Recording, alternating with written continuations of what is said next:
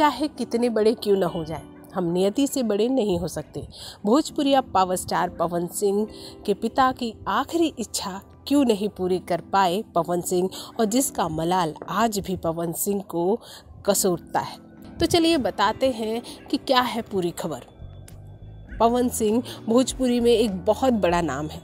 पवन सिंह के साथ कौन फ़िल्में नहीं करना चाहता? आज पवन सिंह जिसके सर पर हाथ रख दें, वो भोजपुरी इंडस्ट्री में सुपरहिट है। लेकिन क्या आपको पता है कि पवन सिंह अपने मरते हुए पिता की आखिरी इच्छा नहीं पूरी कर पाए थे? जी हाँ पवन सिंह भोजपुरी के एक ऐसे कलाकार हैं जिनके बारे में उनकी पब्लिक, उनके फैंस सब कुछ जानना चाहते हैं। तो आपको बता दें कि पवन सिंह के पिता बहुत चाहते थे कि पवन सिंह शादी करें, अपना घर बसाएँ और उनके परिवार को वो देखना चाहते थे और आगे उनको खुश देखना चाहते थे। पवन सिंह उन दिनों बहुत बिज़ी थे। साथ ही उनका नाम अक्षरा सिंह के साथ बदस्तूर लिया जा रहा था। पवन सिंह के पिता ये चाहते थे कि पवन सिंह अपनी गृहस्थी जल्द से जल्द बसा लें, लेकिन पवन सिंह इसके लिए रेडी नहीं हो रहे थे। इसका कारण ये था कि पवन सिंह की पत्नी नीलम को कहा जा रहा था कि पवन सिंह भी पाए थे।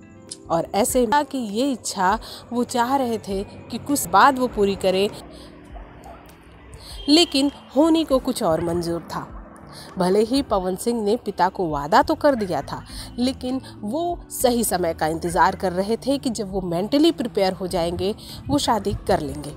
ऐसे में पिता का देहांत हो गया। पिता के देहांत के बाद पवन सिंह को इसका बहुत ही अफसोस हुआ।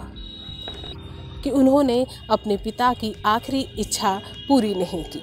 साथ ही उसके बाद उनकी माँ ने उनके पिता की आखिरी इच्छा उन्हें बताई कि वो उनके परिवार को देखना चाहते थे, पवन सिंह को खुश देखना चाहते थे, वही उनके पिता की आखिरी इच्छा थी और ऐसे में तब पवन सिंह को लगा कि उन्हें अपने पिता की आखिरी इच्छा पूरी करनी चाहिए और साथ ही साथ उनकी माँ की भी यही इच्छा थी कि पवन जल्द से जल्द शादी करके अपना घर बसा ले।